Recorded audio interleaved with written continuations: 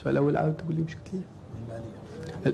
الرسالة اللي توجهها اللي ما انتخبونيش يدي ممدوده للجميع انتخب علي ولا ما انتخبش؟ أنا قلت جيت لم شمل العائلة بدون خلفيات وبدون أي شيء. بالنسبة لقضية ال- الموارد المالية تكلمت الوضعية صعيبه ما نخفوش على ذلك لكن إن شاء الله بالتضافر الجهود وأعضاء المكتب تاعي سنسعى جاهدين باش نمضوا نمضوا عقود sponsor اللي رانا دخلنا déjà في مفاوضات معهم. بالنسبة للسؤال الأخير شوف باش نتكلموا مليح عليه هذا. بركونا من التأويلات والمزايدات وال- والكلام الناخب الوطني اتركوه شأنه. إحنا رانا نساندوا فيه. نقول لك من المنبر هذا له كل المساندة ليا. له كل المساندة ليا وأنا راح نعمل ويدي ممدودة ليه ونعطيه كل نقول لك حاجة راح نضاعف له راح نضاعف له الإمكانيات حتى ينجح في المهمة تاعو.